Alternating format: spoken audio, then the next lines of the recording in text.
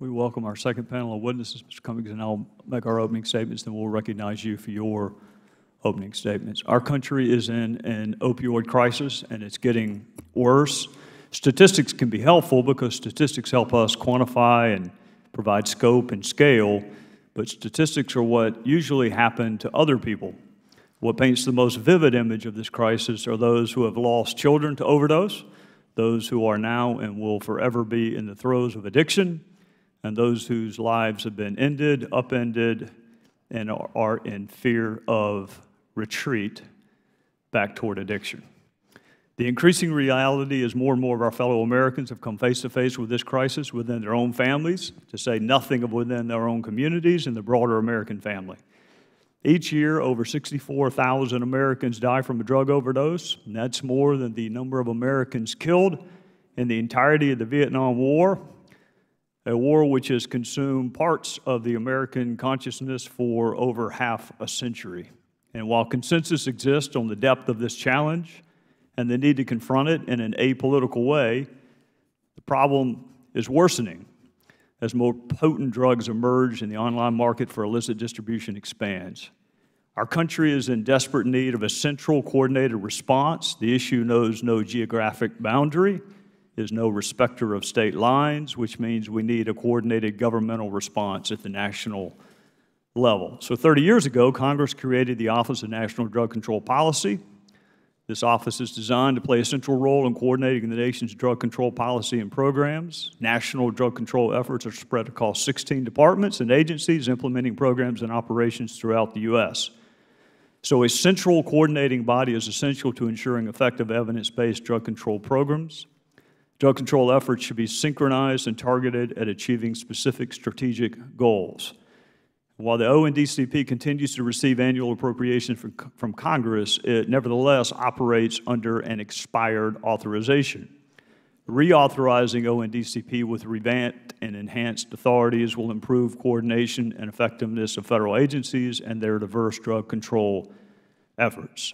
ONDCP is also tasked with administering two grant programs, HIDTA and the Drug-Free Communities, ONDCP is uniquely positioned to administer these programs in a way that gives those working at the state and local level a prominent seat at the table. As Congress appropriates increasing levels of funding, the need for national coordinating office is more important than ever.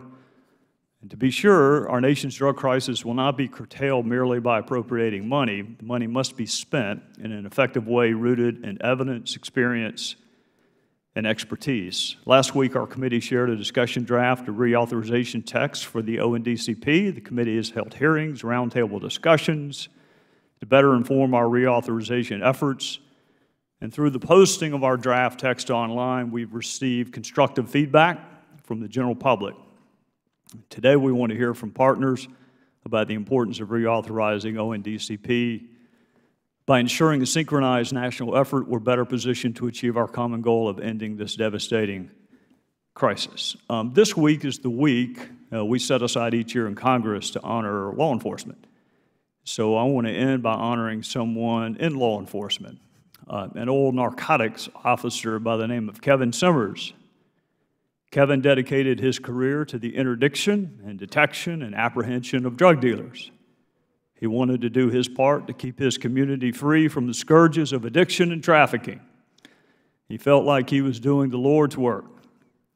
But Kevin was not just a law enforcement officer, he was also a father to a beautiful daughter named Brooke.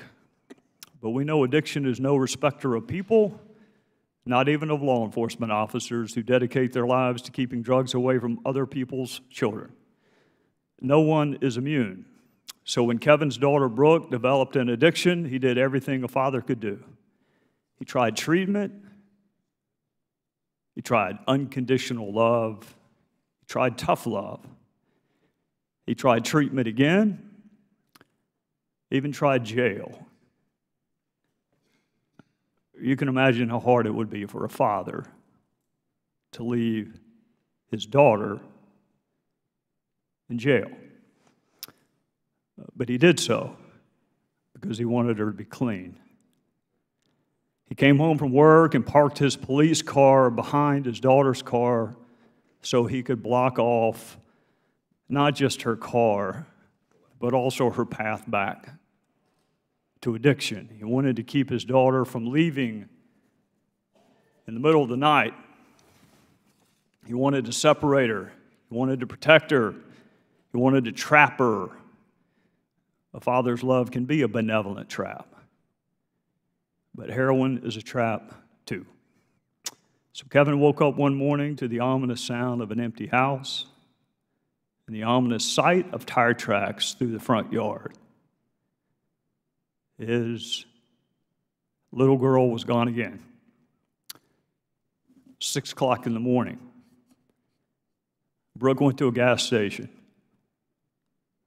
She called her sponsor. Sponsor said, Call your dad. But she didn't want to disappoint her father again. So she drove to a church where she played basketball as a child, crawled into the back seat of her car, and overdosed on heroin. It's not the statistics, it's not the money, it's something you can't count. It's the grief of parents burying their child. The gentleman from Maryland is recognized. Thank you very much, Mr. Chairman. The first um, overdose death that I heard of, I was six years old. Six. I'm 67 now. And this young man was a hero in our neighborhood. And he, I didn't even know what drugs were. Then I had an opportunity later on in my life at the 15 year old working in the drugstore car to watch people come in trying to get Robitussin. Remember that? Trying to get high. People that were in so much pain, they didn't even know they were in pain. Of all colors. That was 50 some years ago. And I am glad that we are moving to this moment because I do believe that this is a destiny moment where we say enough is enough. Fighting the opioid epidemic has been one of my top priorities for several years. Had a family member to die from this not only because it's the terrible thing that has destroyed so many Baltimoreans' lives, but also because it's devastating a nation. In red states, in blue states, and purple states. It is time that we finally recognize this epidemic for truly what it is a national emergency that is killing 115 Americans every single day. 115 and counting. In December, the Centers for Disease Control and Prevention warned that life expectancy in the United States dropped for the second year in a row, and drug overdoses are the single biggest reason why. In 2016, nearly 64,000 Americans died from drug overdoses. These numbers are only getting worse with every passing minute. I understand that today's hearing is supposed to be about proposals to reauthorize the Office of National Drug Control Policy. But it's hard to do that when we have, we have not been able to speak to the acting director of that office. We asked for him to testify here today, but our request was denied. It's also hard to do it when we will not be hearing from other stakeholder agencies that are involved in this fight, like the DEA and the Coast Guard. We're supposed to mark up a bill next week, but we have not received any official feedback or technical assistance from the administration. We had a roundtable meeting with ONDCP staffers, and I thank you, Mr. Chairman, for that. But I'm concerned that this legislation may not be ready for prime time. Compounding this problem is the Trump administration's total lack of leadership on this issue, and they are simply missing in action. The National Drug Control Strategy was due in February, but they did not submit one. Remember what I said. We've got 115 people dying a day, but no drug control strategy. Now the president has just assumed office. I, I got that. So maybe it is understandable. But this February also came and went and he still has not submitted a strategy. 115 people dying a day. ONDCP staff told us that Kellyanne Conway is calling the shots. I sent a letter to the chairman on February 16, 2018, asking for a briefing from her to, or anyone uh, from the White House who could tell us what's going on but that never happened. Ladies and gentlemen, this is the most deadly national health crisis we have seen in three decades. In three decades. Where President Trump has shown no leadership, Congress must step into the void and demonstrate a bipartisan commitment to taking on this fight in an effective and efficient manner. We can talk all we want about how we might want to reorganize ONDCP, require new reports, and reshuffle the lines of authority. But they are not doing their jobs now.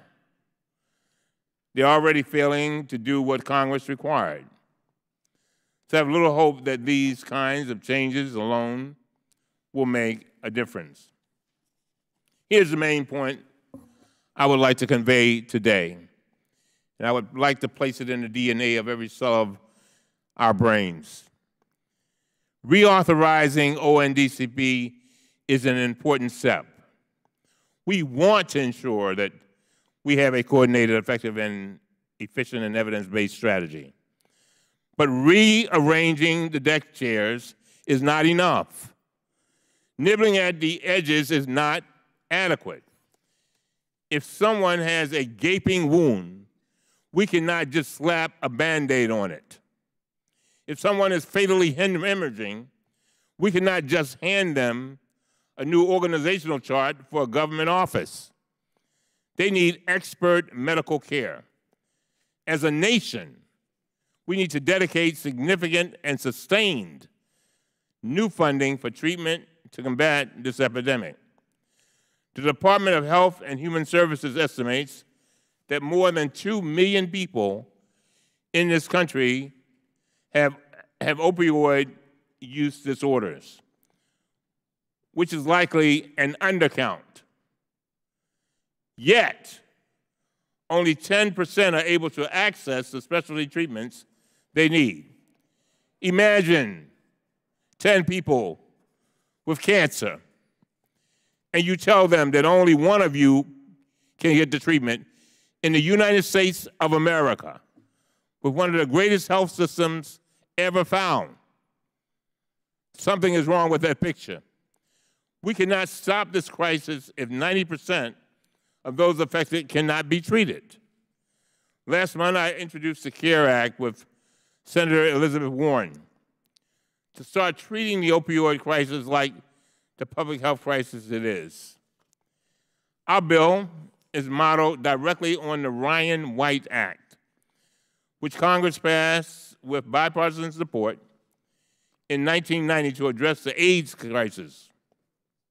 It has been endorsed by more than 30 organizations, including health advocacy groups, nursing organizations, local government associations, and public health organizations.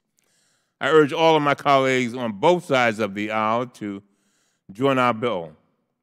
My staff has already contacted each of your offices and my door is open to answer any of your questions. To conclude, I want to thank our witnesses for being here today, including Ms. Goodwin from GAO, Mr. Parikh from the Bipartisan Policy Center. I look forward to hearing from Mr. Carr, an old friend and the Executive Director of the Washington-Baltimore HIDTA Intensity Trafficking Area. I appreciate his effective leadership, and I thank him for his endorsement of the CARE Act. Finally, I thank Commissioner Gupta of the West Virginia Bureau for Public Health for joining us today. And as I close, let me say this. This is our watch. This is our watch. And it is our duty to protect our neighbors. I think the, ch the chairman said it quite eloquently. We've got we've got to do things to protect our neighbors, and it will affect all of us. There was one time that it seemed that the only place that was affected was the areas like the ones I live in today and lived in for 35 years, the black community. Well, hello, that is, is a big difference now. It's everywhere. And so we have to address this in a bipartisan way, and I'm looking forward to it. And, Mr. Chairman, I want to thank you for, your, for working with me and um, for your indulgence.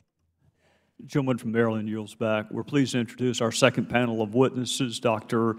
Anand Parikh, Chief Medical Advisor of the Bipartisan Policy Center, Dr. Rahul Gupta, Commissioner and State Health Officer of the Department of Health and Human Services, Bureau for Public Health, State of West Virginia, Mr. Thomas Carr, Executive Director of the Washington-Baltimore High Intensity Drug Trafficking Areas Program, and Ms. Greta Goodwin, Director of Homeland Security and Justice at the Government Accountability Office. We welcome all of you pursuant to committee rules. I must administer an oath, so I'd ask you to please stand and raise your right hand. solemnly swear the testimony you're about to give should be the truth, the whole truth, nothing but the truth, so help you God. I do. May the record reflect all the witnesses answered in the affirmative. You may take your seat. Um, there's a series of lights uh, that should inform and instruct you. Just be aware that all members have your opening statement in full. So if we could summarize the salient points within the five minutes, that will allow more time for the members to ask questions. With that, Dr. Parikh, you are recognized. Chairman Gowdy, Ranking Member Cummings, and members of the committee. Thank you for the opportunity to appear before you today. I applaud the committee's efforts over the last year to identify ways to strengthen the White House Office of National Drug Control Policy and enhance the federal response to the opioid epidemic. My testimony today is based on my perspective as a physician, a former Deputy Assistant Secretary of Health at the Department of Health and Human Services, and now currently as Chief Medical Advisor at the Bipartisan Policy Center, a nonprofit organization that combines the best ideas from both parties to promote health, security, and opportunity for all Americans. As the chairman and the ranking member noted, in 2016 alone, 2.1 million Americans had an opioid use disorder, and over 42,000 Americans died from overdosing on opioids. This crisis, 20 years in the making, will get worse before it gets better. Fortunately, there are evidence-based interventions and solutions that, if scaled by the combined efforts of the public and private sectors, can bend the curve of the epidemic.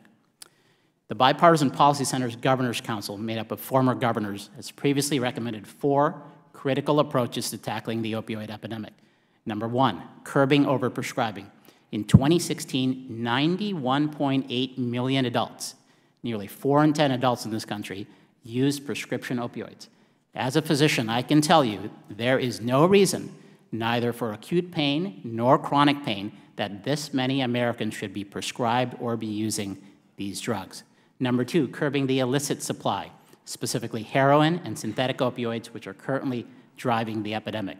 Number three, facilitating treatment and recovery through increased training of healthcare professionals in medication-assisted treatment, public and private insurance coverage of these services, and increased funding to support the treatment infrastructure. We have made it far too difficult in this country to treat opioid addiction. And number four, educating America to reduce stigma and expand evidence-based harm reduction strategies, such as making naloxone more widely available. In order to coordinate the federal response, the Bipartisan Policy Center's Governor's Council has also recommended that ONDCP be reauthorized, adequately funded and staffed, and empowered to track all federal drug control initiatives. On that issue, I would like to make three key points to the committee today in response to the bipartisan discussion draft to codify ONDCP. First, the opioid epidemic is a multi-dimensional public policy challenge spanning public health, criminal justice, macroeconomics, international diplomacy, and homeland security. In order to comprehensively tackle the opioid epidemic, it is critical that states and communities have a federal partner that is itself coordinated. The federal response requires a leadership office, such as ONDCP, to ensure coordination and collaboration of executive branch agencies and departments that have a role in addressing the supply side and demand side of this epidemic. The committee's envisioned National Opioid Crisis Response Plan with goals, measures, targets, action steps, and designations of responsible offices or officials is urgently needed. This plan would also more clearly inform Congress about the appropriate federal funding levels necessary to address the epidemic over the next several years. Second, the robust performance measurement and data collection activities that the committee envisions for ONDCP will require sufficient funding and staffing support. I encourage the committee to ensure ONDCP tracks both process measures and outcome measures to gauge progress in combating the epidemic. The critical drug control information and evidence plan the committee is envisioning should include assurances from ONDCP that performance metrics can be tracked using existing data surveillance systems or that systems be developed if not currently in operation. I also encourage the committee to build in some flexibility with respect, with respect to performance measurement. The committee should, should ensure agency accountability while not being overly prescriptive. And third, for ONDCP to truly succeed, it must be empowered by Congress and supported by the administration. The President should underscore ONDCP's authorities to federal agencies and departments who must be accountable for their role in implementation of the response plan. Ultimately, ONDCP needs to be the quarterback of the federal response to the opioid epidemic and needs the staffing, funding, and authority so it can lead and inspire disparate agencies and departments in tackling the opioid epidemic and other threats that may come down the road. Thank you for the opportunity to address this committee, and I look forward to your questions. Thank you, Doctor. Dr. Gupta. Chairman Gowdy, Ranking Member Cummings, and distinguished committee members, thank you for the opportunity to appear to, in front of you today to discuss the issue of significant importance to the lives of American people, the opioid epidemic. State and territorial health agencies are on the front lines responding to the current crisis of substance misuse, addiction, and drug overdose. As a public health official and as a practicing physician for nearly 25 years, I've witnessed the consequences of this crisis in the form of overdose deaths, substance-related interaction with the criminal justice and welfare systems, HIV, hepatitis, prenatal substance exposure effects, and the burden on the healthcare system. This crisis is unweaving the very fabric of our society. In West Virginia, we continue to experience the highest rate of overdose fatalities in the nation. We are also enduring a surge in the rate of neonatal abstinence syndrome among infants, a condition which babies are born drug dependent. Currently, one in 20 babies are diagnosed with NAS, and one in six expecting mothers are found to have intrauterine exposure to drugs. Children are being placed in foster care at a higher rate than ever before, causing a tremendous demand on the social and early childhood services. In fact, we estimate that there is an additional cost of at least $1 million for each baby born with an AS diagnosis. Our state's not alone. The number of babies born in the United States with a drug withdrawal symptom has quadrupled over the last 15 years. Under the leadership of Governor Jim Justice, West Virginia has made significant strides to take major steps in the right direction. Last year, we conducted a social autopsy of deaths and then engaged the public, a broad array of stakeholders and experts to inform policymaking. Throughout this initiative, there was significant support for reducing the harms of overprescribing, improving access to evidence-based treatment, and increasing the use of naloxone and other harm reduction strategies. I'll be happy to share with you the findings today. Recently, as a practice internist, I saw a young woman who was brought into the clinic by her teenage daughter, being afraid of going through withdrawals and have received naloxone so many times that she was told she would not get it again. She was desperate to enter treatment. And I, we got her into treatment, but it wasn't easy. But for three other patients that afternoon, I tried every possible way, but the best I could do was to listen to their story, their struggles, counsel them, offering them help whenever they were ready. As I left the clinic that afternoon, I sincerely hope we would be able to help these folks before they became a statistic. Today, as we keep these real Americans in mind, I would like to stress upon three major points in my testimony. One, to develop sustainable solution to this contemporary challenge, we must have authentic national leadership that we can envision and coordinate a robust and wide-ranging, cross-cutting support from multiple organizations to develop an evidence-based comprehensive response strategy.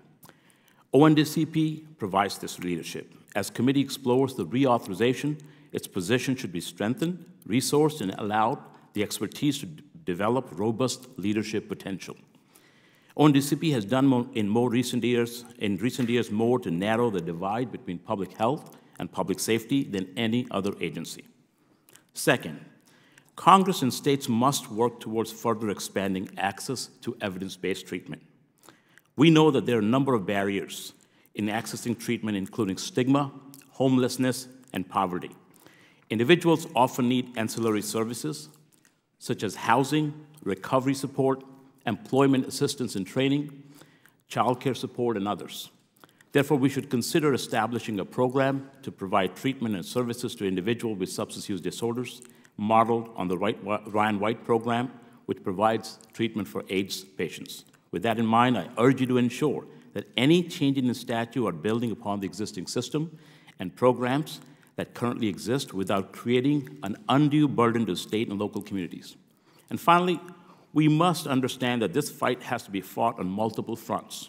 In order to fully address this epidemic, as well as substance use and misuse disorders as a whole, we must move further upstream to address the exposures during the life course that can lead to addiction such as toxic stress in infants and adverse childhood experiences. We must bolster efforts to work with schools, school-age children, build resilient communities, and increase investments in programs that work to address social, psychological determinants of health. Inclusion, in conclusion, the opioid crisis and substance misuse will not be solved by any individual agency or state. Instead, we need a comprehensive science-driven approach. As my patient rebuilds her life, she's going to need addressing her health, her home, her community, and the relationships with having a purpose in life. So I applaud your commitment and implore the committee to take swift action. Thank you. Thank you, Doctor. Mr. Carr. Chairman Gowdy, Ranking uh, Member Cummings, and Congressman, it's nice to see you back in the office again. and distinguished members of the committees. I'm, it's an honor to appear before you today uh, to discuss the proposed transfer of the HIDTA program and the revitalization of the Office of National Drug Control Policy. I come to you today as a representative of the National HIDTA Directors Association, but also with a sense of deja vu since 13 years ago to this month I testified against a similar proposal that was before this committee. That, that proposal would have transferred HIDTA to the Department of Justice, and I'm glad to say it was rejected by Congress, and I urge you to do the same with this iteration. The administration's rationale for the proposed transfer is to improve coordination among drug enforcement efforts. I submit the coordination that the proposal claims to seek already exists in the HIDTA program. The most significant feature of the HIDTA program is a longstanding policy that each HIDTA is managed by an executive board. Moreover, the voting power on that executive board uh, must be, be equally divided between federal and state, and local, and tribal agencies. The executive board is vitally uh, is vital to the success of the HIDTA program uh, and it has unlimited discretion over activities and ensures that each HIDTA can tailor its strategy to the situation in that neighborhood. In 2017, HIDTA's funded 825 initiatives. More than 22,000 personnel participated in these initiatives. As a result, the discretion afforded the executive boards, the makeup of the executive boards, and the top-to-bottom commitment to interagency cooperations HIDTAs have established a track record of quickly devising and implementing creative responses to the drug challenges. I said earlier I had a sense of deja vu, and I think you should know that since 2005, HIDTAs have disrupted, on average, 2,882 drug trafficking organizations each year. They've dismantled 17,000 methamphetamine labs, taken more than 7,700 tons of drugs off the street, including 44 tons of fentanyl, heroin, and prescription drugs, seized $8.5 billion in cash, and provided training for 556,000 personnel. Now, as impressive as these statistics are, they don't tell the whole story. So let me tell you a little bit more about it. One of the things we did was we developed something called the Heroin Response Strategy. And this is the first multidisciplinary approach that I'm aware of that was focused on combating heroin and opium. The initiative brings public health and public safety partners together to reduce overdose fatalities. Common sense, if you ask me. The HRS includes 10 HIDTAs and 22 states. And I think it's important to note that in a recent review of the HIDTA program, the GAO demonstrates, and I quote, as demonstrated through its management of, of programs like HIDTA's HRS, an agency like ONDCP is uniquely positioned to collaborate with its law enforcement and public health counterparts. GAO also uh, recognized that a major obstacle to dealing with the opioid crisis has been the lack of shared methodology to track overdoses in real time across jurisdictions. In 2017, the Washington Baltimore HIDTA developed what we call OD MAP to address this need. OD MAP tracks overdoses as one would track a disease and issues alerts to public safety and health agencies about overdose spikes. More than 650 agencies across the country are now using ODMAP to share information. So what makes this all possible? Well, we believe the discretion, balance, and independence of the executive boards is a direct result of the HIDTA program being ministered by the Office of National Drug Control Policy. As you're well aware, ONDCP is charged with preparing a national drug control strategy. Key to ONDBC, ONDCP's strength is its ability to coordinate the formulation of the President's drug control budget. It needs that hammer. ONDCP's responsibilities cross the entire spectrum of drug act, uh, enforcement, drug activities, including enforcement, treatment, and prevention. And we believe those responsibilities give ONDCP the unique perspective to accept a wide variety of approaches to the, uh, uh, to the opioid epidemic. It is more urgent today than ever before for ONDCP to be reauthorized to continue its mission. Our members and our executive boards believe that the HIDTA program has been extremely efficient and effective under ONDCP, and there's no evidence that demonstrates any benefits from moving the HIDTA program out of ONDCP. We think the neutrality of the HIDTA program is a key is ingredient for its success, and we also know that it would be difficult for DOJ to remain neutral and objective should they become our parent agency. Further, our non-DOJ representatives, and there are many, believe DOJ, DOJ cannot operate as a neutral broker as well as ONDCP. Um, the success of the DOJ is determined by how well each of its agencies fulfills the mission of the Attorney General. The success of the HIDTA is determined by how well it carries out the assignments given it to, by, it, to, by, it, given to it by the Executive Board. So as, as was cited before, we have 115 uh, people dying every day from this crisis. Uh, we cannot afford now to abandon ONDCP, abandon our mission, and we have to move forward. And I thank you very much. Thank you, Ms. Goodwin. Chairman Gowdy, Ranking Member Cummings, and members of the committee. I am pleased to be here today to discuss GAO's recent work on combating the opioid problem, including the role of the Office of National Drug Control Policy, ONDCP. Today, I will talk with you about two topics. First, federal agencies' opioid-related strategies and the extent to which each agency is measuring its performance. Second, federal agencies' efforts to enhance collaboration and information sharing to limit the availability of illicit opioids, the ongoing challenges to doing so, and ONDCP's role in that process. In particular, there are five strategies that ONDCP and the Department of Justice have implemented to specifically combat illicit opioids. These include ONDCP's Heroin Availability Reduction Plan, HARP, and DOJ's 360 strategy, which the Drug Enforcement Administration implements. We found that of the five strategies, only one, HARP, included outcome measures or measures that are results oriented. The others either did not include performance measures at all or measured outputs instead of outcomes. For example, One of the goals in the HARP is to significantly reduce the number of heroin-involved deaths. ONDCP measures its progress towards this goal in part by using cause of death data.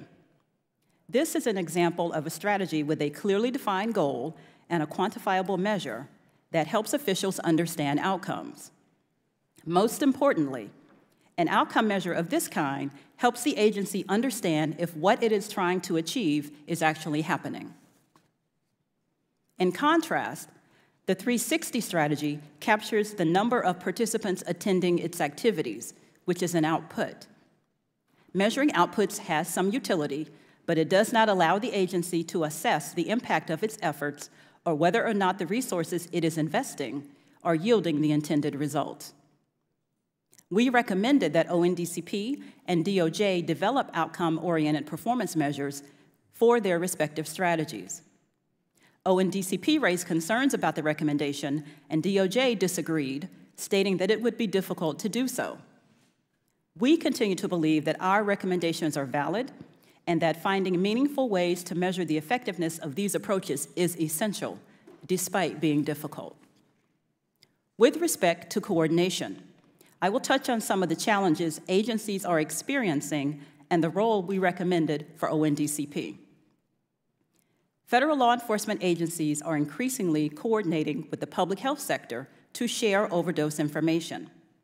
However, both sectors reported ongoing data sharing obstacles and related challenges with the timeliness, accuracy, and accessibility of overdose data.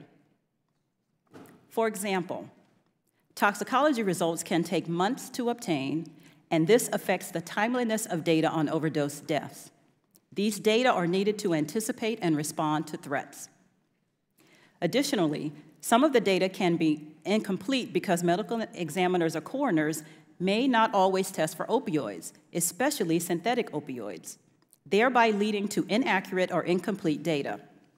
Further, legal restrictions to protect patient privacy on how data can be shared and analyzed affect how much information law enforcement and public health officials can access and share respectively. ONDCP is uniquely positioned to collaborate with its law enforcement and public health counterparts to identify solutions to these challenges. We recommended that ONDCP lead a specific review on ways to improve the timeliness, accuracy, and accessibility of overdose data. ONDCP neither agreed nor disagreed with our recommendation, but did say it would consider it. I will note that during our review, the lack of timely, accurate, and accessible information was one of the most pervasive concerns we heard from the public health and law enforcement officials we interviewed. Given ONDCP's role in framing a national strategy, GAO believes the agency should bring together law enforcement and public health officials to improve national level data and support data improvement efforts at the state and local levels. Chairman Gowdy, Ranking Member Cummings, and members of the committee, this concludes my remarks. I'm happy to answer any questions you have. Thank you. Gentleman from Alabama is recognized for his questions. Thank you, Mr. Chairman. Um, We've talked about the, the overdose deaths, the crisis that we have there. And uh, first of all, uh, I, I think we're talking about 64,000 people possibly that died last year. I think that um, is understated. Um, uh, Dr. Um, Parekh, uh, in your experience, would you, are you seeing where the death certificate does not show death by overdose, but perhaps natural causes? I, I think you're right. I think that's probably an underestimate. Certainly, the 42,000 for opioids is likely an underestimate as well. Uh, a lot of times, the death certificates don't get into the specific cause of drug overdose deaths. Toxicology reports take a long time. Uh, so, unfortunately, these are likely uh, underestimates, and these numbers will get worse, uh, Congressman. Uh, that's what concerns me. I think um, uh, Ranking Member Cummings uh, made this point that uh, the CDC has lowered the life expectancy for Americans. It's not just because of drug overdose, it's also because of suicide. Uh, for people 10 to 24 years old, uh, the second leading cause of death is suicide. And um, to, to, follow up with you, um, are we seeing suicides that are linked to um, drug abuse? Uh, we are, and, and these are overall called these deaths of despair. So you see drugs, alcohol, suicides uh, taking a toll across uh, the country, leading to the reductions in life expectancy, as you suggested. Uh, there are a lot of factors here, economic factors as well, that, that lead to this, but they are all, all unfortunately uh, interrelated and driving uh, the lowering of life, life expectancy, as is you cited. Well, it ought to be shocking to people that the suicide um, issue for 10-year-olds to 24-year-olds is the second leading cause of death. And, and uh, I'm going to get into some area I probably shouldn't get into right here, but it has to do with the number of uh, children, the percentage of children that are on psychotropic drugs that have adverse effects that might lead them to other issues like opioid abuse and and um, I, I- mean, in my own district, uh, we, i- i- it's no longer shocking to, to hear that a, a young high school student has committed suicide. We had one week period where uh, a high school that's four miles from my house had two in one week, and, and another one uh, just a few miles from there. And I think when we, when we're looking at this, this crisis, we've got to look at the totality. It's, it's just not the people are dying from overdose. It's, it's also this, uh, the suicide aspect and link it all together. I think if we did, uh, we would all uh, turn, uh, just be in shock at the total number. I mean, we've got veterans, 22 a day committing suicide. I wonder if either, uh, any of you have any information that, about that. How many of those are related to, to adverse reactions to, to drugs that cause them to have these suicidal uh, tendencies? Do you know anything about that?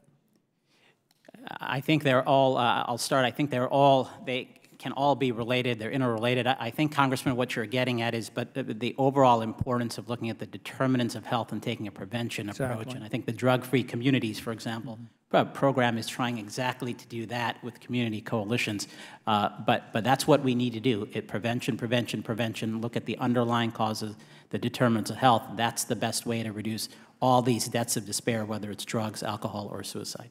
Well, there's, there's uh, profiling can be done through, through looking at DNA uh, before anyone's prescribed a drug that would give, that that would get, lay down some markers about the effectiveness of the drugs and, and the propensity to, to, to lead them to, to other things. I think that might be part of the solution. Mr. Carr, um, we're talking about fentanyl, and um, uh, one of the things that, that I've talked about with, with some of the folks in law enforcement is they, they're now deploying dogs that can sniff this out, uh, particularly uh, what's coming in the mail. A lot of this is coming from China. A lot of it's uh, produced by North Koreans. I made this comment to uh, former Governor Chris Christie that I'm, uh, we've gone from a war on drugs to a war with drugs, it seems like, and thousands of Americans are falling victim one of my concerns is, and, and I don't know if, if you can answer this, is that if we're going to, to try to, to, to interdict this through the mail, what are we doing to interdict it through the mail that goes to Mexico and Central America and Canada that comes across our border?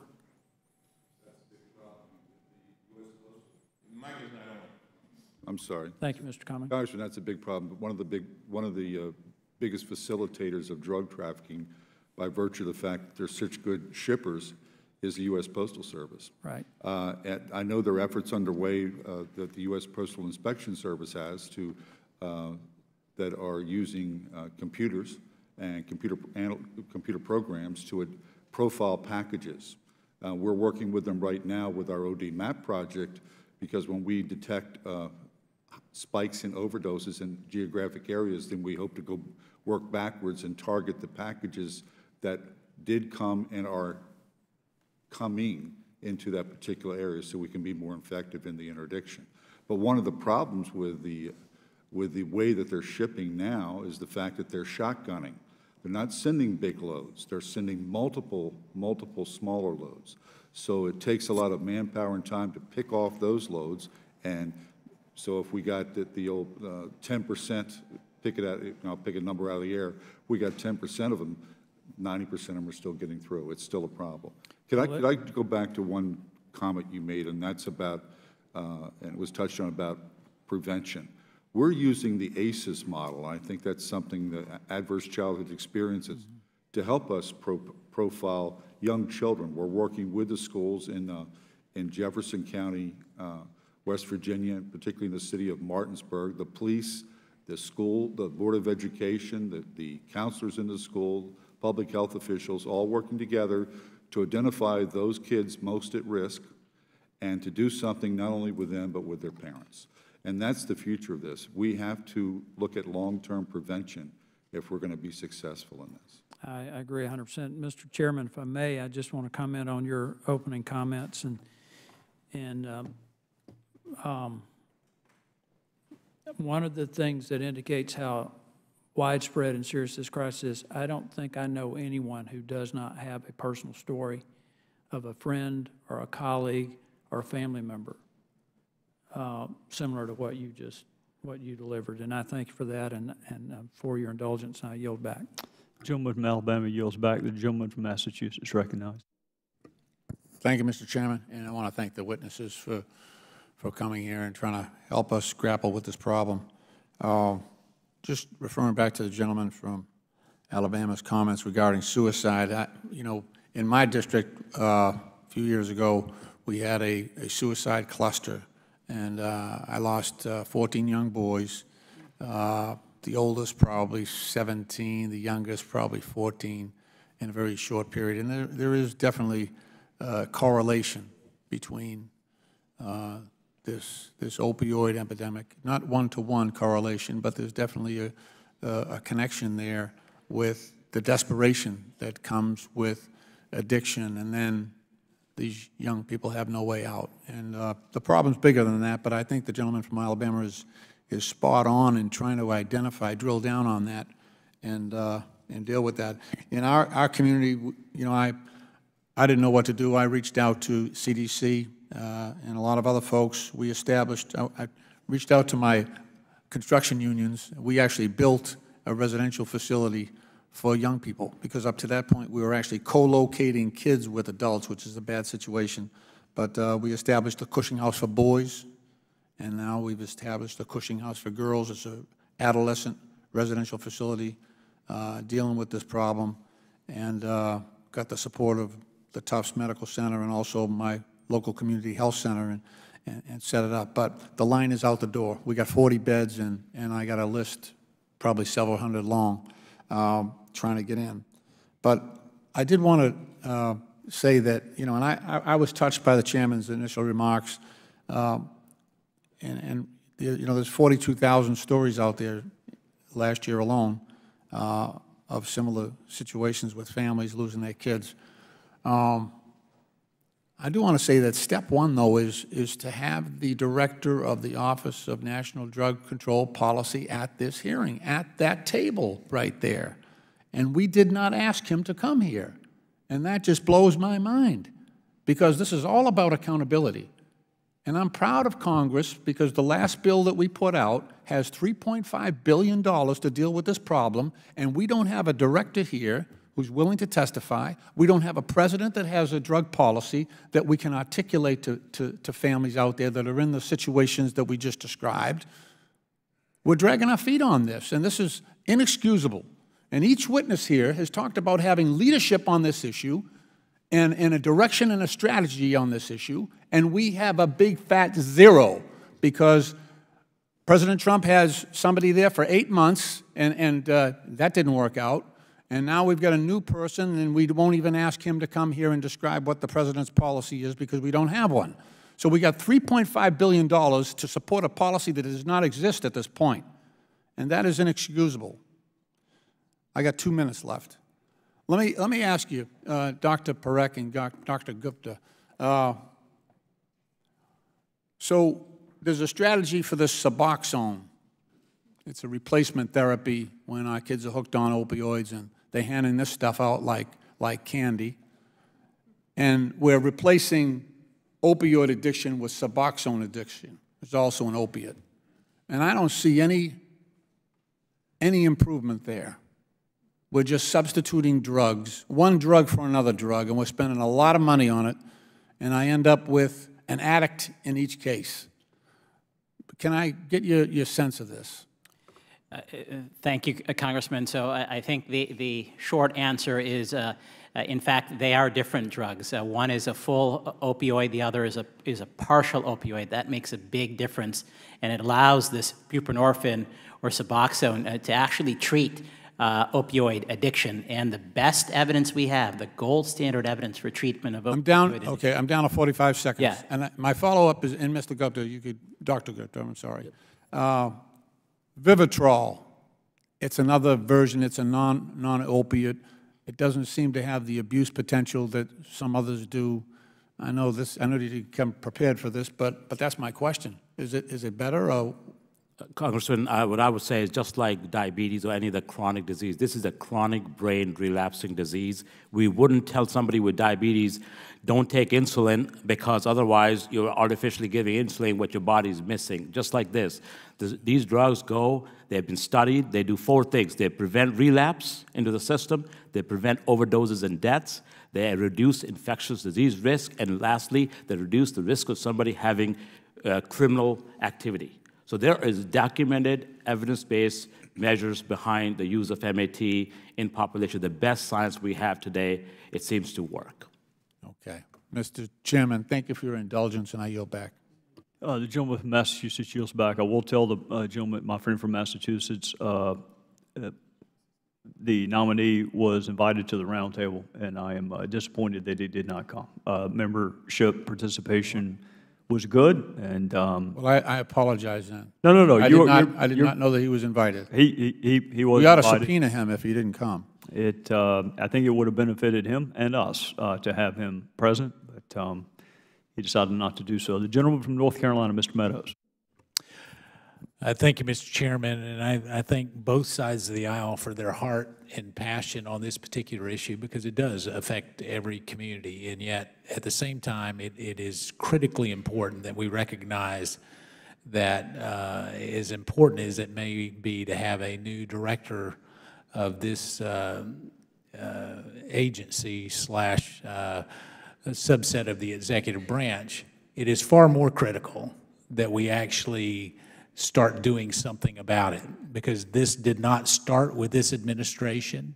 Uh, we've had this issue for a long time, and and I know the gentleman from Massachusetts would agree with that. I do agree that it should be all hands on deck, and I think the problem that you're you're hearing is a frustration of the fact that we have uh, a drug that is being used, uh, and there's so many deaths each and every day, as Ms. Goodwin, as you pointed out, um, eh, that we, we've got to deal with it. Now, the other thing is, and I would encourage, uh, uh, the ranking member of this uh, committee has been very vocal in this area, and, and I appreciate his leadership. It also goes into other areas, like FDA. Uh, we've got to find other alternatives for pain management uh, that that are, uh, quite frankly, in the hopper, waiting to be approved. Uh, and so we need to work in a bipartisan way on areas that perhaps uh, have a less addictive nature. Uh, this was supposed to be the wonder drug, and it has really uh, taken over in, in a critical area. Ms. Goodwin, I want to come to you because you talked about the coordination and where we are, and that it's critical that we have a coordination, and yet I think um, what I understand is is uh, so whether it's the DEA coordinating with the Coast Guard, coordinating with other other areas on uh, domestic uh, uh, illegal synthetic opioids. Uh, GAO found that only one of five strategies it reviewed actually included a results-oriented matrix or measurement. Is that correct? That's correct. So we looked at the five strategies that are out there, and the only one that had a performance-related metric was the HARP program.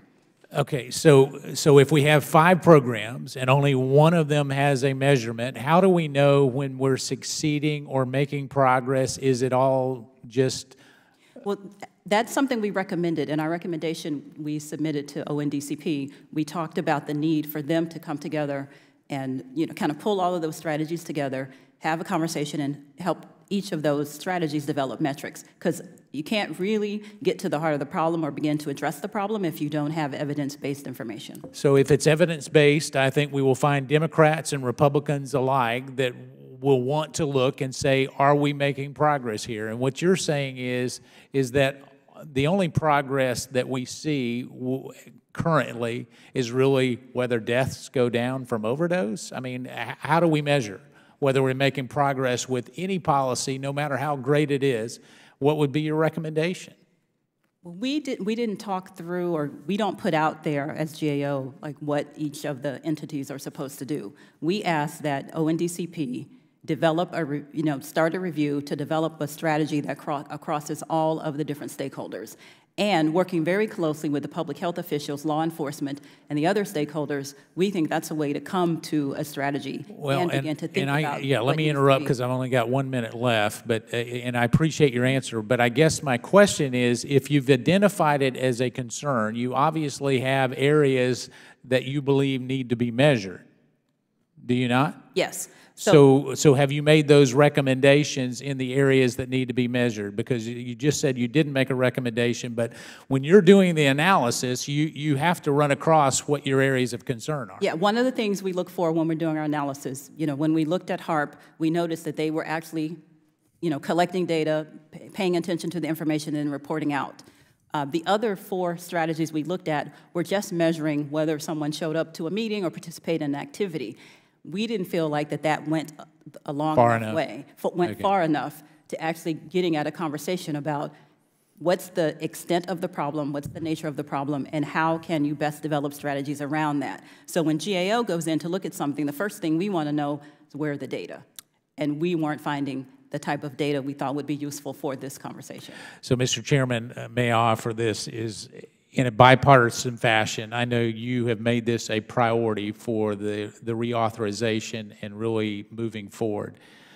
Uh, Mr. Chairman, I know where your heart is. I know where the heart of the ranking member is on this particular issue. And if we only reauthorize to not actually have a plan that implements with a measurable tool like Ms. Goodwin did, we will have failed. And so uh, I'm, I'm committed to work in a bipartisan fashion with both of you on the leadership on this particular issue. I thank you. I thank the gentleman from North Carolina. The gentlelady from Illinois is recognized. Thank you, Mr. Chair. And I just wanted to let the ranking member know that I can really relate to what you were saying. Uh, when I was much, much, much younger than I am now, a little girl, uh, I lost an aunt to heroin, and then um, she had three children, and her oldest daughter died of heroin overdose, dirty needle. So this is something near and dear to me. One of the most critical tools in addressing the opioid epidemic is the overdose reversal drug, naloxone. Naloxone is a generic drug. It was first approved in 1971, yet the prices of these products have increased so dramatically in recent years that state and local communities are now having trouble stocking the drug. They are being forced to ration. One of these project, products, excuse me, an auto injector like the EpiPen now costs 4500 for a pack of two.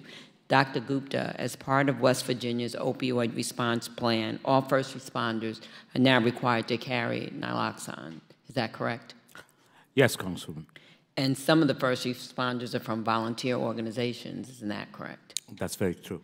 So how does the price of naloxone affect the ability of first responders to adequately equip themselves? I think that's the important part. So one of the things that Governor Justice did, he, he actually put money behind, state money. So he's put about $10 million into the plan, with specifically $1 million, and we purchased over 37 doses of naloxone with state money, and we got about $26 a piece. But smaller agencies do not have that capacity and ability to have the purchasing power to do that, and we're very worried uh, that uh, the price increases and the price policies that are created are going to be a stumbling block no matter how many discounts are given, how many um, free naloxone is distributed. We're afraid that the average person who needs it isn't going to be able to get it because they feel it's something that's, while life-saving, is also extremely expensive in their perspective. One of my hospitals I know has a program, and they give it to our law enforcement in my um, rural area of my district. We've heard similar testimony from county officials who testified at a hearing on the opioid epidemic last month in our health subcommittee. One witness said because of price increases, local communities have, and I quote, fly by the seat of our pants all the time in terms of coming up with the medication. Dr. Gupta, from a public health perspective, how do these pricing issues affect your ability to truly combat this epidemic? I can tell you from data, when we conducted a social autopsy, we found that of the people EMS went to who have died from overdose, only a third of them actually got the naloxone. And when we talk about elderly and African American, it was even worse. So what we're seeing is that people are having, we have evidence to show that people, first responders, are having to decide who to give, who not to give. And then there's always an issue of stigma because folks think that maybe the elderly aren't dying because of overdose. So that adds to the problem. The CARE Act, the CARE Act, which I'm co-sponsoring, would invest 500 million per year in a naloxone distribution program. Under this program, the federal government would negotiate discounted prices for the product and then distribute it, excuse me, through the states to first responders, local health officials, and the public. Would this kind of federal role in negotiating, purchasing, and distribution of the product help West Virginia equip your first responders and your community Yes, Congressman, that would be critical in ability to help that person because, again, if they have to have breath in their lungs in order to be meaningfully have a chance to enter treatment, then we have to build the rest of the system as well to make sure that those folks, we save them first and then provide them the help. But this would be very helpful. And I think we'd all agree that it's unacceptable that communities all across the country are being held hostage by these arbitrary price increases, especially for a life-saving drug. And it's also unacceptable that drug companies would use the opioid crisis as a way to profiteer at the expense of all of our constituents. And I'm interested in working in a bipartisan way to see how we can combat this issue. And also, I hope my colleagues will help by co-sponsoring the CARE Act so we can bring these prices down and provide states and local communities with the tools they need to address the problem. I yield back. Gentlelady yields back. Dr. DesJarlais. I thank the chairman and thank the panel for being here today. Uh, Ms. Goodwin, I'll, I'll, start with you. Uh, I've met with many groups over the years who have stressed the importance of instituting a nationwide prescription database. As you know or may know, Tennessee borders eight different states, and the congressional district I represent uh, borders two. This poses a unique problem because in the absence of a national, nationwide prescription database, drug abusers in my district will frequently get a prescription for an opioid in Tennessee and then uh, simply cross the border into Alabama or Georgia and attempt to fill another. What steps are you taking to address this uh, problem? So GAO um, has not looked into that specifically. When we did some of our review, we did talk to a number of representatives from the HIDTA program. So I think actually Mr. Carr can speak more eloquently to that than, than GAO could. Okay, thank you. Thank you, Congressman. I'll try. Well, I know several years ago we were detecting people that were getting prescriptions filled for them or written for them in Kentucky, and they were driving to Miami to fill them. And I don't know how many pharmacies they passed on the way, so I think you can know what they're up to. With the PDMP, uh, that's been implemented, uh, prescription drug monitoring program, I think that that's a good first step. There's some issues with PDMP in that they're all they're all activated at the local st the state level. So in some cases, doctors are required in that state to look at the PDMP to find out if their patient before them has in fact uh, been given a prescription for an opioid or the like by another doctor. In other states, however, it's only recommended, and they don't have to look. So I think we need to do some more work on that. I think, personally speaking, I think a nat national database makes sense, especially as, as, as fluid as our, our population is today. And I would agree with you. Thank you. Uh, this is for any of the panelists uh, regarding hospice care. Under the current law, to my understanding, hospice care staff are not allowed to dispose of the patient's prescriptions when the patient passes away. This often leads to families sometimes taking uh, narcotics or opioids home with them, or they may end up in their medicine cabinet and be forgot about, or uh, somehow uh, taken out of the home and, and it leads to an increase of the, the drugs being distributed back into the community. Uh, what safeguards can we enact to ensure that this problem is dealt with? Um, thank you, Congressman. Um, I, I, think it's important for us to be able to have the either again the take back days as well as enhanced efforts to destroy the medications. Uh, going back to, I think we're getting to a place where opioids um, as they are in the market are going to have to have companion mechanisms uh, dispensed to patients to be able to destroy the medications. Also, blister pack. We've just enacted laws to limit the initial prescribing in ERs and outpatient. So what happens? Uh, we would like to see blister packs for three days or seven days use, and then a parallel system where they can put in a package and destroy it. So I think that technology is needed. Um, I just want to add to well, nationalizing, I just want to be real careful about that because we need systems that will connect state PDMPs with other state PDMPs rather than federalizing or nationalizing because we're able to get, use our data in ways, creative ways in advance as a laboratory in states that would be a little bit difficult from uh, uh federalizing the PDMP.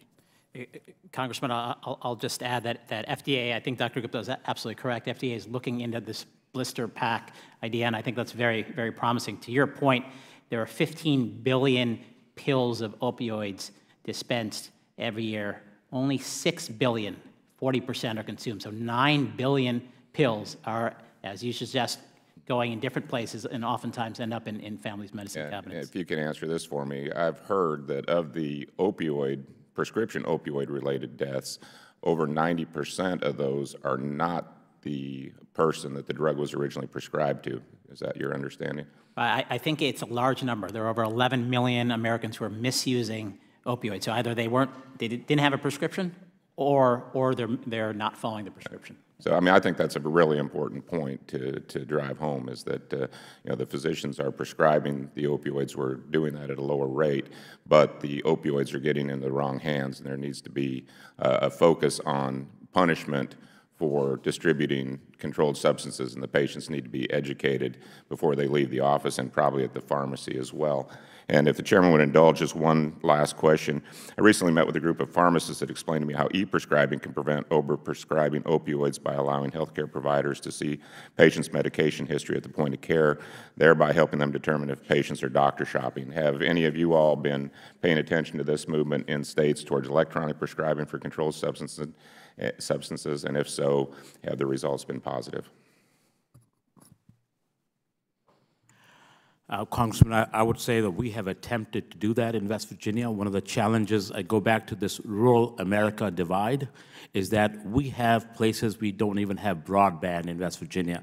We have places where physicians rely on fax uh, to transmit data. So I think this links to another issue that we really have, which is e-prescribing is only as good as the ability to get to our practices in sometimes very rural parts of the state, and, and that's a limiting factor. But we do have some type, but it's very hard to be more robust in that. I thank the panel for their expertise. I yield back, Chairman. Gentleman yields back. Uh, Mr. DeSaulnier.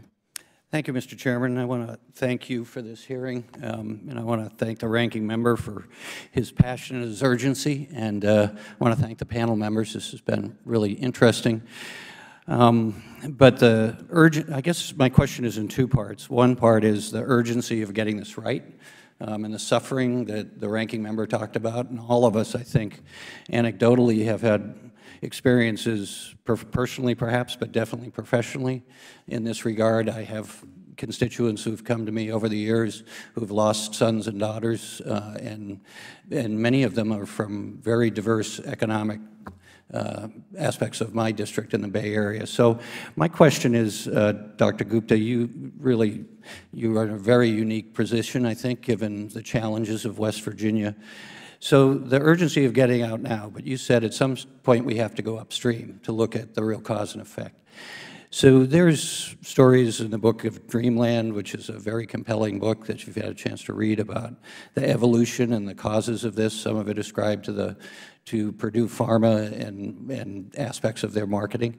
So in that case, there's pretty good evidence that they targeted the marketing specifically to West Virginia and other areas where they knew there was a lot of manual labor. Um, surely it seems intuitively that they targeted the workers' compensation system, permanent disability. Um, so how does that make you feel when, and if you have evidence, and I know my county just joined a whole group of counties in California suing um, Purdue Pharma and others because they have caused us to spend money, as you said, $1 million per child. So in the context of my question is, um, I'm a survivor of an incurable cancer. I have remarkable medicine that will keep me alive, uh, keep my quality of life hard, uh, high. I just had a meeting with constituents who work at the University of California who are involved in the CRISPR system there, where we look like very promisingly we can use um, genetics um, and to identify bacteria in our system. So I look at this system in the sustainability question of the urgency of now, but then how can we learn from this to really transform, given the context of what medical research is giving us right now? If we could take the money that we're spending on that child, multiplied towards whatever number, and put it into these programs that can avoid this thing happening in the first, in the first place, including um, private sector companies or, or organized crime using the system to divert our limited resources to stop this. So you were at the front lines of this. Could you respond to that? Thank you, Congressman, very much for that question. You know, we as physicians began prescribing for pain, and we ended up over the years treating suffering instead of pain, and that's what, what we have today. Um, when we conducted our social autopsy of all the deaths in 2016 of, from overdoses in West Virginia, what we found was four out of five people actually came in contact with the health system. We were having a lot of lost opportunities that we could have helped these people. But as a result, what we found was if you're 35 to 54 years old, single, male, less than high school educated or high school, and work in a blue collar industry, you have a very high risk of dying because of an opioid overdose. How we work is we're also seeing, again, a tremendous and such a demand on child welfare. We worry about the next generation as we sit here. We're losing 10, 15 years from now, those babies being born, now they're going into schools. These are the people, uh, kids who are going to have lifelong traumatic experiences. So as we work to address social determinants of health, as my colleagues have mentioned, we've got to look at those things. We've got to look at childhood experiences. We've got to look at traumatic communities, and we have to then work. NAS, for example, we have programs now looking at long-acting reversible contraceptives as part of the correction system. Our corrections officers know the way they're ma making the math right now, doing the math, they're saying 33 inmates uh, 33 and a half uh, correction officers equals $1 million a year in West Mm -hmm. 37 inmates equals $1 million a year. So they're saying, we have thousands and thousands of people that need MAT. Why don't we start doing MAT instead of putting people in prison? So there's this relationship that is developing and trying to get folks to actually go through science and evidence-based treatment on one hand, saves lives on the other hand, and then connecting those to treatment, and then really working upstream uh, it's really not a partisan issue for us to look at how do we help a woman actually um, get into treatment before she starts to plan a family. I mean, this is just a social responsibility because we're seeing the, outs, the other side of this in society so much. We've recently had a person who, 82-year-old grand, great-grandmother, taking custody of a child. Those are the examples we're seeing on the ground every single day. I really appreciate that. And to um, the chair and the ranking member, I really think this is an amazing opportunity for us in Congress to change the dynamics in these reoccurring public crisis, health crises, to really look at the cause and effect. And I'm not to ascribe blame to the private sector or anybody, but to look at it evidence-based and say, not only can we solve the opioid pro program, but all of us can remember being told 20 years ago that crack babies were going to cost us money. We've fallen this pattern of this reoccurring public health crises that maybe we can approach it a different way and avoid these unnecessary costs and human suffering. Thank you, Mr. Chairman. Gentleman yields back. The gentleman from Maryland is recognized. Uh, Dr. Gupta, first of all, I want to thank all of you for this excellent testimony. You know, one thing you didn't mention, Dr. Gupta, and I uh, was looking at a CNN piece on West Virginia, uh, with foster care the cost of foster care because people, the parents are dead or they're on drugs. Um, can you comment on that very, very briefly? Yes, thank you, Mr. Ranking Member. Uh, we have the, we are not even able to now find uh, parents to foster the children. It has become so bad, can't pass. West Virginians are great giving people. When we're in the point that we have the highest levels we've ever seen in the history of the state in kids entering into foster care. It is the biggest, unquestionable, challenging burden of, of, of the future for our state, and we're very worried about that. Dr. Gupta, you are from West Virginia. West Virginia, your state has been hit uh, extremely hard by this epidemic. This issue does not discriminate based on politics. It affects red states, blue states, and uh, purple states. Last November, we held a hearing with Governor Chris Christie of New Jersey, who chaired the President's Opioid Commission. The commission stated that only about 10 percent of those who need treatment receive it and are warned, and he warned that people are, and I quote, losing their lives as a result of it. Dr. Gupta, is that right? And are people dying today because they simply can't access treatment? Is that true? That's absolutely correct and very true. And part of the reason is stigma. It's not just they can't receive treatment. Some people worry they're going to lose their job. Some people think that they don't have enough coverage. They can't travel to get treatment. They have to, in West Virginia, average wait 30 to 60 days before they can enter outpatient treatment. So we have so many barriers, including stigma, why people can't get treatment and as a result end up dying. You know, I mean, we, I mean, there's a big elephant in the room, doctor, okay? Anybody who has ever been around drug addicts know that quite often uh, they end up being another person.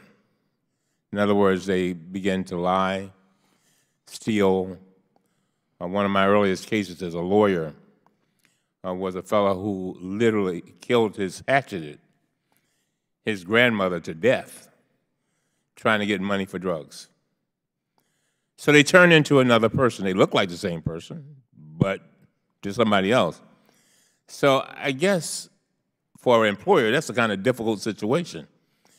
Uh, I was just with the railroad people yesterday, and they were telling me how hard it is for them to get people to, to hire uh, because people simply cannot pass the drug test, and they worry about accidents big time, and they should. In January, your state of West Virginia issued an opioid response plan that also calls for expanded access to treatment. It states, and I quote, one of the most important actions that any state can take to address the opioid crisis is expanding access uh, to effective treatment. Is that right? Yes, sir, that's absolutely correct. One of the things we did was we had state regulations for MAT clinics. We've created exemptions for physicians so they don't have to pay the registration. They don't have to go through the whole process if they want to treat their own patients up to 30. We've also cut down on onerous regulations within our state.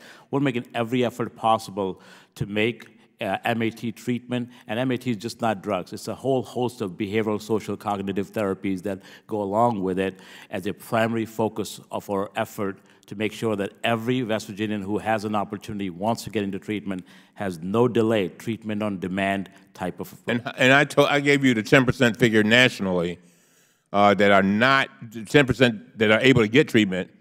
What, what's it like in, in, in uh, West Virginia? Do you have any idea?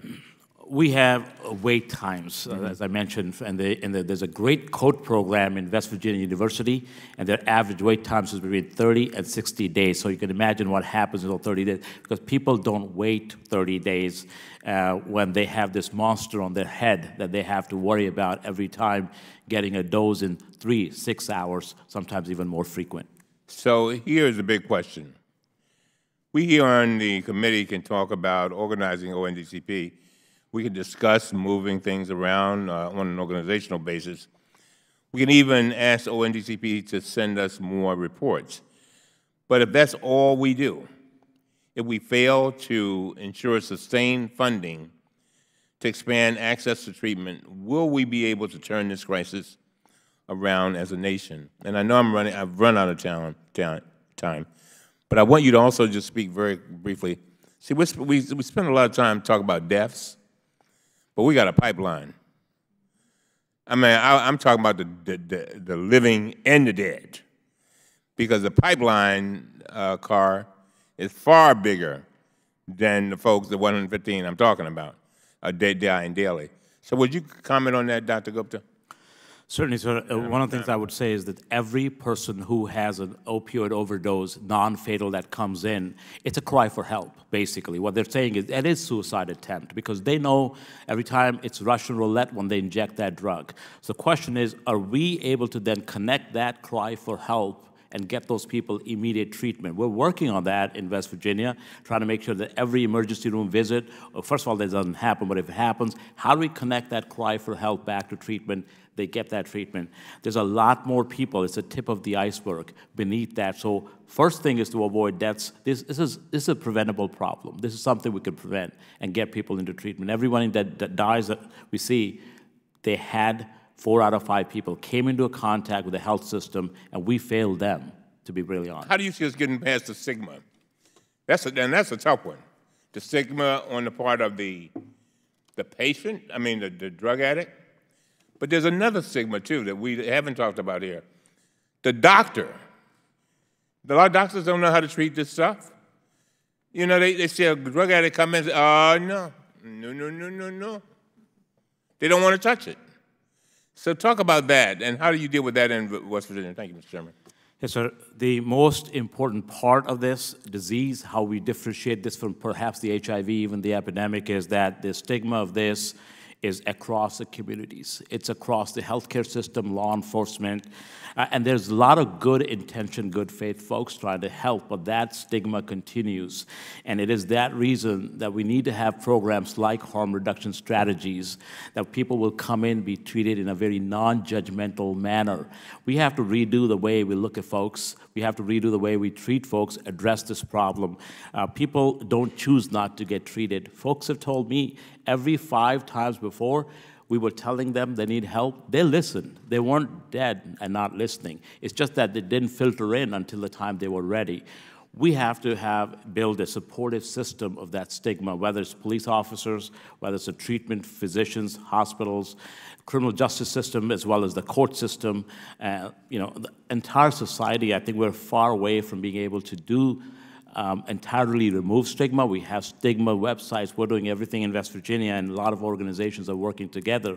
But it's going to take every every fabric of that society to undo the stigma aspect of this this problem. It's a big problem. Gentleman yields back. The gentleman from Wisconsin is recognized. Um, sure, a couple questions. I agree with you, Dr. Gupta, that I think whenever anybody takes heroin, and as I understand it, everybody who takes it knows people who's died from it, there's an element Suicide's too strong a word, but at least you're saying that it's not the end of the world if I die. And um, that's a problem. I think it was Dr. Parekh who told, one, one of the two of you in your original testimony, and I didn't see it in your written testimony, um, said the number of people of in this country every year who are prescribed some sort of painkillers that could be described as opiates. Could you repeat that statistic again? Sure. So it's nine, uh, this is the National Survey on Drug Use and Health in 2016. Uh, so 91.8 million uh, American adults, nearly four in 10, um, say they've used opioids in the preceding 12 months. Now, that could be that they were prescribed or they're misusing. A and the misusing number is 11.5. So 11.5 million Americans are misusing opioids. So either they didn't have a prescription in the first place, they got it from family, friends, or they had a prescription. Could, could you tell us the equivalent number from other countries? Uh, I, I, think, uh, unfortunately, Congressman, this is a uniquely American problem. We have, we have 5% of the world's population. We consume 80% of the world's opioids. Wow. So uh, that would show it's an American problem, and it shows that other countries don't seem to have this problem. So you wonder what they're doing differently. Um, have we looked into at all the background of the average heroin user? Do we ever study, you know, family background, religious background, what have you? Uh, uh other panelists may, may, want to jump in, but I think one statistic that's important to note is, is if you look at first-time heroin users, 80% of them first started abusing prescription opioids, and I think that is a, a critical, uh, critical okay, piece. but I, I mean, do we have anything else, though, as far as, you know, demographic examples, family background, educational background, age? Do we have those statistics, Mr. Gupta? Uh, yes, Congressman. We, we conducted an autopsy of, a social autopsy of everyone who died in 2016 in West Virginia from overdose. What we found was typically individuals are 35 to 54 years old, male, high school educated or less, single, um, and, and, and working in blue collar industry. So this is the social autopsy. Single people, what about their parents? What do we find out about their parents? Well, uh, I think uh, what we find is basically is it's uh, one of those situations of hope. It's a social. social no, not hope. But what, yeah. what, was their background? What type of family background do the people? Uh, we we yeah. I'm sorry. Put enough money into it. You should next time you do a study, you should you should check into that. Um, at least I felt heroin's been around this country a long time, and there was a time of stigma against taking heroin. I mean, there was a a bright line, I think, between alcohol and marijuana or even cocaine and heroin. And I know there's been a lot of emphasis on removing the stigma. Uh, are you sure we want to remove that stigma? There used to be a stigma, and I think at the time there was a stigma unless people took heroin. But are, are you sure we want to remove that stigma? Uh, Congressman, I'll give you an example. Um, saw an 80, 71-year-old woman living with her children, her children living with her. Mm -hmm. Every time she started to use heroin for post-herpetic neuralgia, that's pain after you get shingles, mm -hmm. because the doctor took it off the Percocet. And she uses three syringes. First time she injects small bolus dose, mm -hmm. second a bigger dose to make sure there's not enough fentanyl to kill her, and then she gives herself the main dose. And that's all because she actually trusts her dealer. Mm -hmm. So yeah, there's a lot of that because she wouldn't go and get help because she thinks her family will find out and it would be a bad thing for, people, people to know a 71-year-old is using heroin. So there's a tremendous amount of stigma. I'll give you another question. I recently had something in my district in which a member of law enforcement was very concerned. Somebody was pulled over with a substantial amount of heroin, clearly a dealer, and uh, they were given time served or something. It really bothered the law enforcement person because these people are probably, you know, as dangerous as can be. I know we're stuck on kind of a a trend of saying too many people are in prison, and there may be too many people in prison. But to me, heroin and related drugs are a new thing. I am very concerned on hearing stories, and particularly more liberalish areas, of people who are dealers not really going to prison for a long period of time. And I know in other countries that don't have these problems, who are not as oh, so afraid to put somebody away, they don't have these heroin problems either. Uh, do you think our, usually the police aren't the problem, the police want to put them away, but do you think our judges or the rest of the judicial system is getting too involved in this treatment stuff and are not sending a strong enough message to the dealers by putting them away for long periods of time since they are killing so many people? The gentleman's out of time, but you may answer his question. Congressman, I think uh, there's a distinction to be made between dealers, which obviously are bad guys and need every, every, every year that they can be in prison for, versus the folks who are actually gotten into this and don't understand it and have something called substance use disorder or opioid use disorder that actually need help and they can be productive. It's because the people, the majority of people we're dealing with, they're actually workers. They're working age populations. And we're losing worker productivity in this country at a rate like never before. Gentleman yields back. Uh, gentleman. I'll just point out he didn't answer my question, but okay. Gentleman yields back. My friend from Vermont is recognized. Uh, thank you, Mr. Chairman. Thanks for having this hearing, uh, and I appreciated your opening statement. And uh, our ranking member, Mr. Cummings, I also want to thank you for your incredible leadership on this, and I want to thank the panel. Um, I'm from Vermont. I'm going to take advantage of the opportunity to talk a little bit about Vermont, uh, and I'll ask a few questions, but I am going to take advantage of that opportunity. Uh, our governor uh, was the first, Governor Shumlin, to dedicate his entire state to the state in 2011 to the problem we saw emerging in Vermont of opioid uh, dependence and addiction. And I remember coming back here after the governor did that, and my colleagues saying, Peter, why did the governor do that? That's bad press for Vermont. And the answer from our governor was, we acknowledge our problem and try to face it. That's what we did. And then a few weeks later, one colleague after another would come up to me and say, you know what, we've got a problem that's as bad or worse in my state, my district. Uh, and I think the fact that there was a focus on acknowledging the issue has helped us in Vermont establish a pretty good treatment program, the Hub and Spoke uh, program, uh, that is having some significant success. Uh, but in the past uh, year, I've been having roundtables in one community after another, uh, Brattleboro, Bennington, Newport, St. Albans. And just this question of who are the victims, it's everybody who's the victim. I mean, there's some folks who work, some folks who got on it uh, because uh, they had a proclivity to uh, uh, use excess drugs, some who started out with a work-related injury and got opioid prescriptions and it, it, led to bad things and they couldn't get off it. Uh, others who uh, are having a crisis of hope, and you know, Dr. Gupta, Gupta you're in, you're at Ground Zero in, in West Virginia, which I've traveled to, and there is a real crisis here of good people. And I don't, I don't meet people who are addicted that want to be addicted. You know, the dealers are a separate question and throw the book at them as far as I'm concerned, but it's a lot of good everyday citizens who would prefer to be in the workforce and aren't. And uh, this is affecting all of our communities, especially, in my view, rural America, where there is a collapse in the local economy and a lot of the local institutions that have been so important to help people have a sense of uh, purpose uh, and, live those rural values of helping one another, uh, helping their community, that's all being frayed. And we've got to have, as part of our response, a revitalization of rural America. That's my view.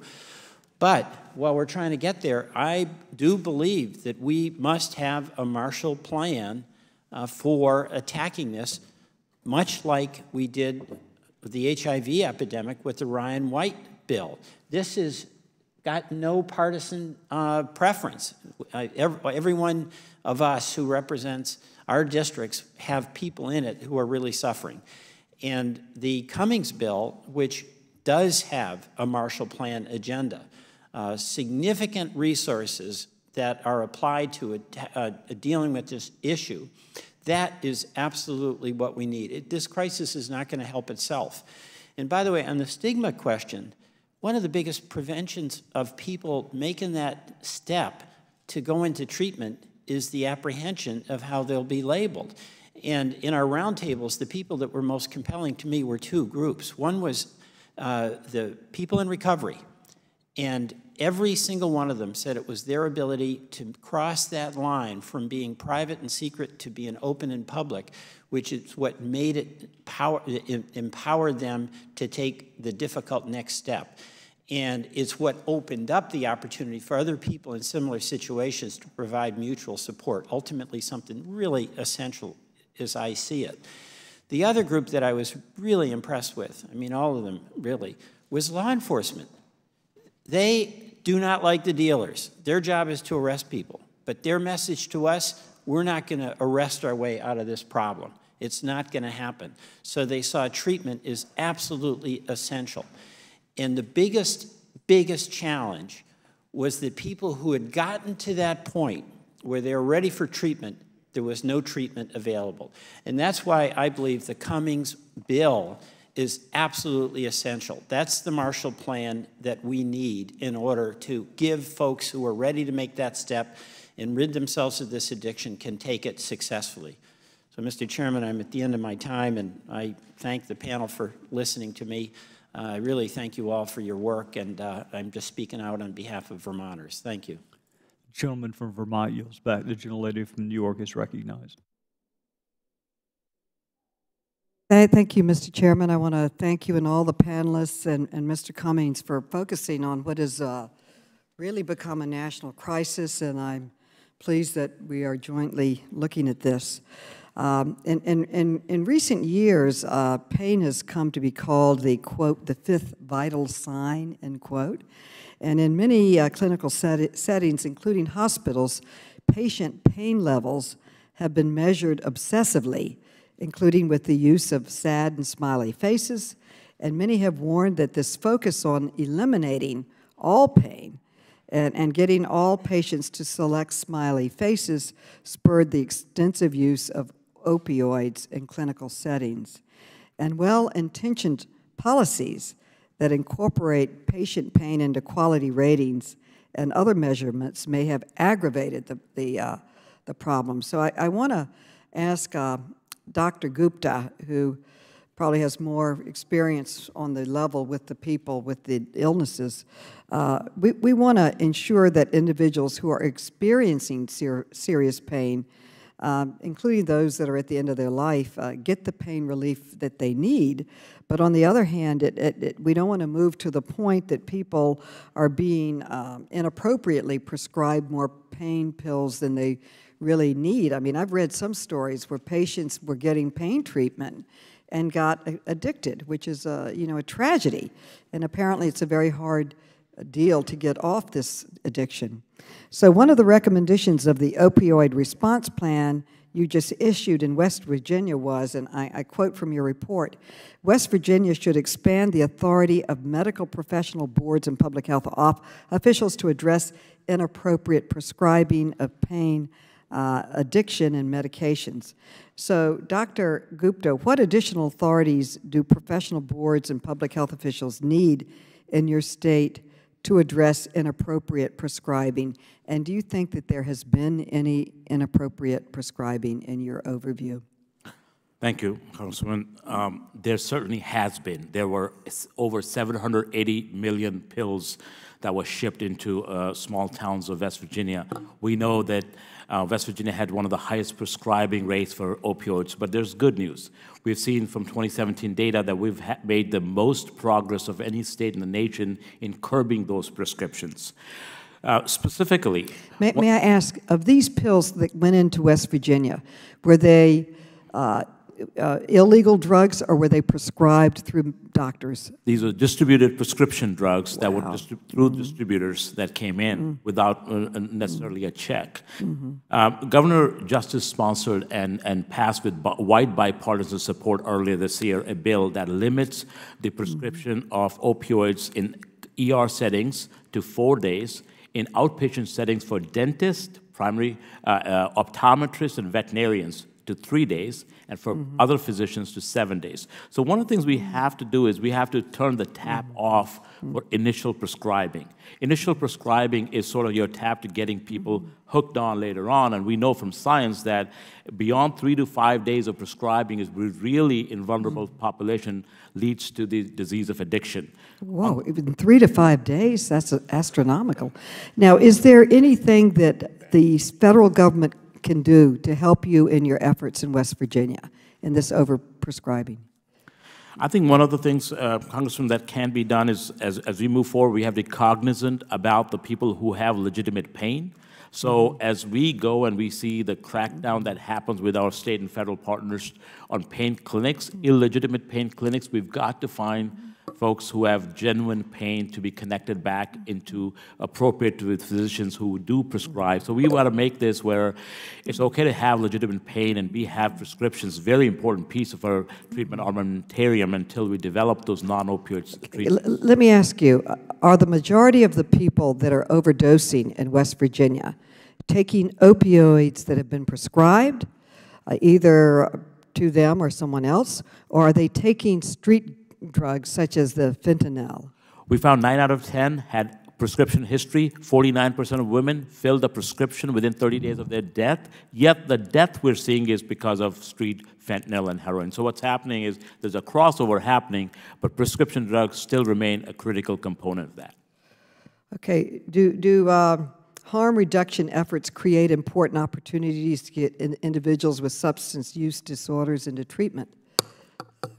Very important opportunities. We need to look at harm reductions such as uh, syringe exchange programs, naloxone distribution, and a host social services that go along with that, including screening for diseases, and that as a gateway to treatment.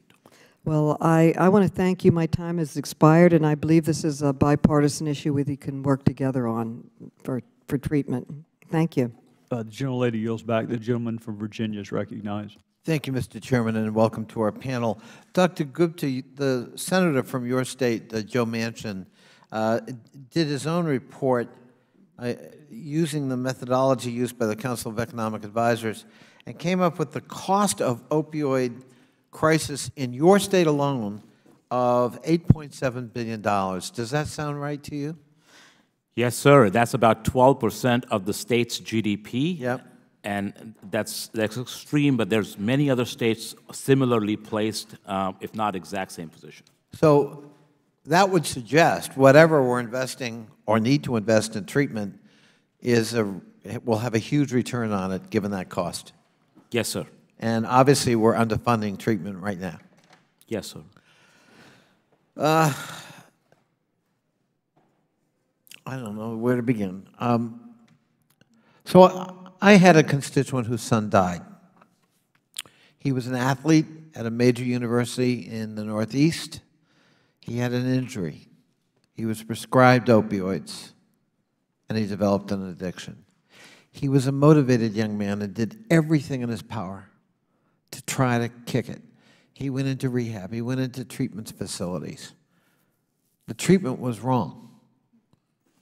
And ultimately led him to need the high. He moved to heroin and he died of an overdose. Tragic, tragic story. Is, I'll ask either one of you, Dr. Parekh or Dr. Gupta, are treatment facilities regulated for this crisis, for this problem? I think treatment facilities are regulated at the state level. I think that the, the issue, uh, Congressman, is that not enough treatment facilities are offering the gold standard, which is medication assisted. Well, well, let me go back to certification, though. Can I put out a shingle and say, we've got the expertise here to deal with your opioid crisis, give us a call? Uh, un unfortunately, that, that, that is being done um, right now. uh, That's all right. across the country. That is my point. It's not regulated, not uniformly. And so treatment, uh, the idea of go in for treatment, well, what treatment? For example, the example I gave of my constituent's son, um, as I understand it, correct me if I'm wrong medically, but one of the treatment centers he went to uh, uh, embraced the AA model. Go cold turkey and follow the 10 steps or 12 steps. Well, it turns out, according to my constituent, that is exactly the wrong thing to do. You cannot simply go cold turkey with this addiction. It's different than alcohol. And if you don't have some intervening treatment, you put yourself at enormous risk. And the, and the craving for that high will absolutely move you to something else, heroin or fentanyl, for example, leading to worse outcomes. I see you shaking your head, Dr. Gupta. Is that accurate? Yes, Congressman. Um, ha only half of the private treatment facilities across this country actually offer MAT, and in that, only a third actually get MAT. MAT is the best science-based treatment available, yet we struggle across states with, um, there are going to be small sliver of population that maybe the 12th step works for them but uh, there, there often seems to be prohibition for using any mind-altering well, drug. I, am running out of time, forgive my interruption, but my constituent argued it's actually life-threatening. It was life-threatening to his son to go that route, even with the best of intentions. Uh, Congressman, I'll add one more quick thing. People who have opioid use disorder, having other mental conditions is the rule, not the exception. Yeah. So you have to be treating other underlying medical conditions, and if organization does not accept that, treatment for bipolar, So- depression, then you're in trouble. So, Ms. Goodwin, in the time I have left, the President's own Council of Economic Advisors estimates the cost of this crisis to the U.S. economy, we talked about West Virginia, is a half a trillion a year, correct? Correct. So certainly, the President has proposed a national strategy to deal with this. Has he not? Yes. He has? And what is that strategy? So that strategy is kind of in the making. Um, Oh, in the making? Yes. Has the President declared this a national emergency as was recommended to him? Yes, it has been declared a national emergency. And what flows from that? So that, the, the declaration of an emergency will mean that the different fe- federal agencies will start to think through and think about how they will address the crisis. You may already know that GAO has ongoing work looking at uh, public health declaration around this crisis. That's in the beginning stages, so we are in the process of designing the scope and methodology for that. My time is up. Um, I, I do think, I, I want to thank the chair for having this hearing, and I, there is no way we can move forward without this being on a, on a bipartisan basis. This is a crisis that affects every community, every socioeconomic strata. This is not something limited to one group or another, uh, and it's, uh, it's reached crisis proportions, obviously, in the United States. So we've got to work together to find solutions. Thank you, Mr. Chairman. Gentleman from Virginia yields back. Um, I'm going to go last, so I want to uh, start by thanking um, the panelists for your expertise, your commitment to uh, helping us uh, combat this issue. Dr. Gupta, the, what progress, if any, is being made in the ability to objectively diagnose pain, as opposed to allowing the patient to pick which frowny face or on a scale of 1 to 10, which is inherently subjective, is there any progress being made in being able to objectively diagnose pain? Um, Mr. Chairman, I think there, there is some work in the research and development sort of phase of this. It's been a difficult thing from a clinical aspect to be able to diagnose something that's very subjective. I do think efforts need to happen there from an R&D standpoint in order to get more objective signage, but clearly um, there's a need for that. Okay, so if I were to present myself at either of the doctors, I, assume y'all are medical doctors or, or, are you PhDs? Medical doctors. I present myself, I tell you I have pain. Um, you are not totally reliant upon me to quantify that, but it helps. There's no test you could administer what are the alternatives to habituating uh, prescriptions? What, what are your pharmacological alternatives to something that is habituating right now? First of all, we would want to make sure, do the proper testing to find out if there's a legitimate physical reason for it. But then again, opioids are just one part of, they're not very good pain treatment to begin with. There's other options, including non-pharmaceutical options, as well as pharmaceutical options. So we're talking about back pain, for example, very common. Most of the back pain treats itself in about a couple of weeks. So oftentimes you need supportive uh, treatments, not really opioids. That's something that opioids were traditionally used. Combination of medications like acetaminophen and ibuprofen, that really means Tylenol and Motrin put together, tends to have, in some studies, better outcomes or better impact on pain than does opioids. Okay, you put your finger on something. I present to one of your uh, physician practices. I tell you I'm in pain. I want something that I consider to be strong. You're recommending something I can get at CVS or Walgreens. So I got a couple of options. I can either go see another doctor and hope for a better result, um, so you, you've got, you know, in July we were told, and look, I like doctors. I grew up in the house with one. Um, not, uh, I don't get excited talking about prosecuting physicians. But, but the reality is there are illicit drugs that are handled in an improper way.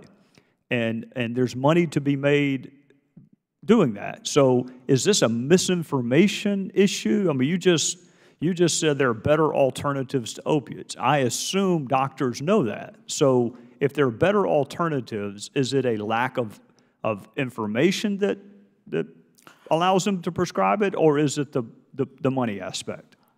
Uh, Mr. Chairman, there's a whole host of issues. As I was practice, in my practice since 2000 or so, been told uh, by the industry that these are medications that are very highly effective, there was no potential for addiction, and all kinds of things. If short-term doesn't work, we have long-acting medications. They're really sold and marketed as the ultimate solution, and now we know that that's not the case. All right, so, but you don't get to be a medical doctor by not being bright.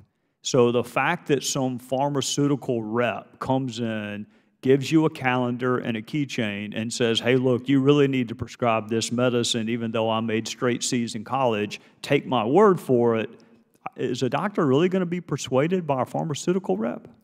If you look at direct-to-consumer advertising campaign and the pharmaceutical budgets, companies' budgets that go into this type of work, it, at least the evidence demonstrates that that strategy has to have some impact on the prescribing habits. Um, this will probably be over my head, but we'll try it anyway. Um, From a, what is the pharmacology of opiates that makes it so difficult to, you know, last week they told us nicotine was the toughest drug to beat. In a previous life, I dealt with heroin addicts. I, I I would list that as the toughest drug to get off it. What is it about the pharmacology that makes it so difficult? Mr. Chairman, it's the same pharmacology would be for heroin, which is it goes and crosses your blood-brain barrier and attaches to receptors, particular receptors that gives you a pleasure to begin with, and as well as number of other activities.